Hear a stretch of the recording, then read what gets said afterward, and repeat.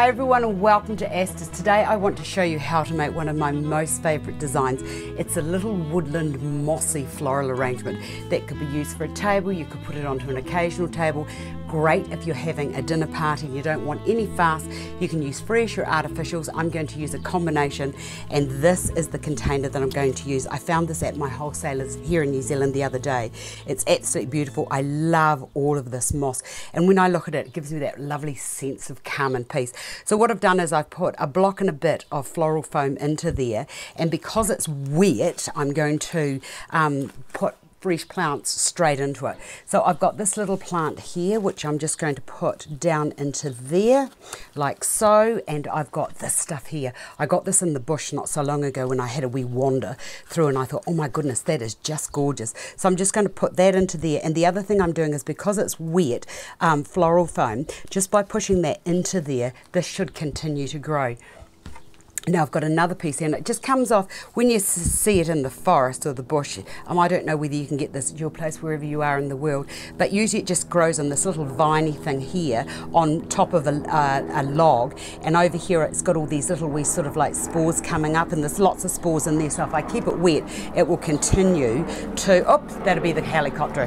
Never mind, it'll be gone in a minute. Right from there, I've also got this little plant here. I thought I would put that into there, so that can go into there like so, pushing that into, ah, a bit rough, but never mind, that'll be fine. Now, I've got this lovely vine, and what I'm going to do with that is cut that off there. I'm going to put that into there, and even though it's artificial, it doesn't really matter because at the end of the day, can you really tell? So just by doing that, I've actually extended the whole design out, and it's really nice having this lovely little green sort of creepery thing just coming around the exterior of the container. Just And that also, as I said, that helps to just extend the container out a bit further. Now you wouldn't usually see little crocuses like this, but in the spring, this is what I like to do. I like to put the little bulbs straight in, so we'll put that into there. I've got a few succulents, so I'm going to put, whoops, there's the price, we'll get rid of that. Put that into there like that. And then I've got another one, so I'm just going to step that into there. And even though that's resting above that, it doesn't really matter. So I'll push that down, push that one down a bit further. I've got a slightly smaller one there that I'll put into there. And I've got this lovely sponge moss. So that can go down into there.